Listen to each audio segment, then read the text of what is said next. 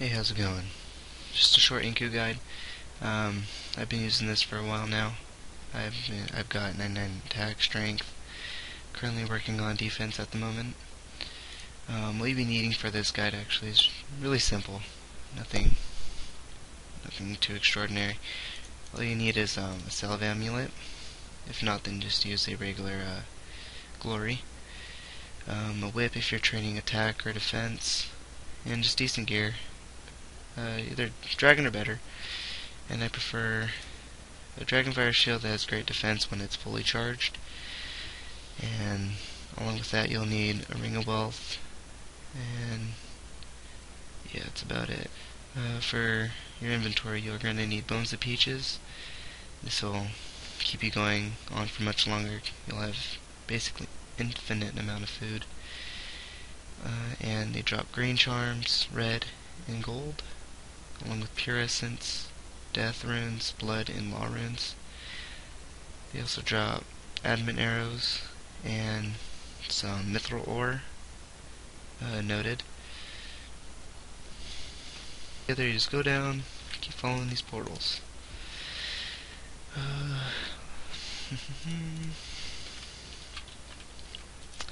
might get boring after a while, so just kind of blare some music if you have some headphones. That's what I do. Gets me past all the boring stuff. But the XP is really great down here. And they're really easy to train on. They won't really don't kill you as easy. Nothing really to worry about. Yeah, all you do is just go through these gates on this side, face north, and they'll be right over here down over in this section.